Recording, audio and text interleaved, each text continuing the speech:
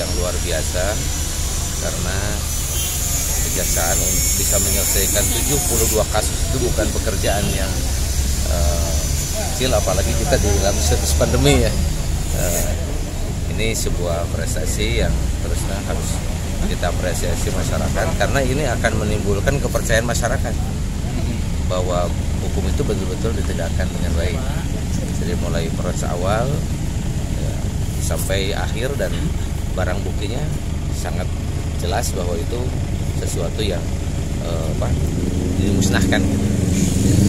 itu kan satu hal yang uh, memberikan kepercayaan kepada masyarakat bahwa uh, penegakan hukum itu berjalan 14 ya 14 Juli 2020 Kejaksaan Negeri Kabupaten Tasikmalaya telah melaksanakan pemusnahan barang bukti untuk periode mulai bulan Januari 2020 sampai dengan bulan Juli sekarang ini 2020. Adapun e, barang bukti yang dimusnahkan itu terdiri dari e, atau berasal dari 72 perkara.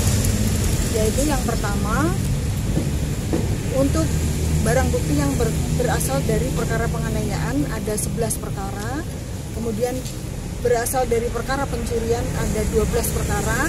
Kemudian berasal dari perkara narkotika jenis sabu 11 perkara, psikotropika 17 perkara, narkotika jenis ganja 5 perkara, asusila ini rekor ini nomor 2 terbanyak 14 perkara, kemudian penculikan satu perkara, pembunuhan satu perkara, sehingga totalnya ada 72 perkara. Pak, Ibu kalau melihat di data tadi, ya. artinya psikotropika masih dominan ya Bu ya di Iya betul, masih paling banyak ya, 17 perkara.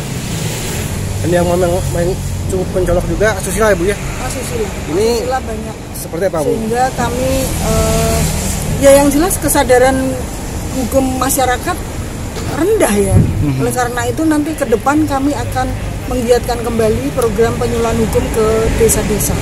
Hmm. Untuk jenis uh, barang bukti yang kita musnahkan bisa ya. disebutkan?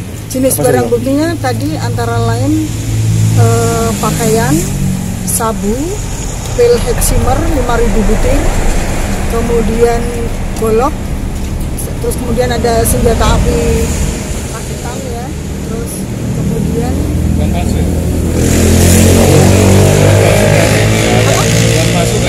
Uang palsu belum? Belum ya. Kemarin uang palsu itu masih dalam tahap diserahkan ke kami sebanyak 2,9 miliar itu mungkin nanti pemusnahannya di tahap berikutnya mungkin sekitar akhir tahun biasanya